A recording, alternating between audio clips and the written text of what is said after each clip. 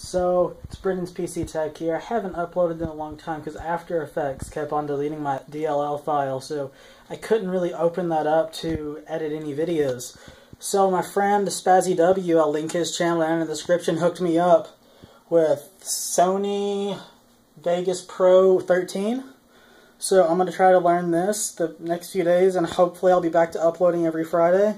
I have a GPU mod thing coming up um, EVGA 7600 GeForce, mounting new custom acrylic cooler. It's going to be really cool, backplate and everything. Just kind of messing with that. Then also I'm going to be doing the same thing to this Quadro, making a custom backplates and stuff for that. So I'll also keep on doing reviews and everything. So yeah, I'll see you guys later. Peace.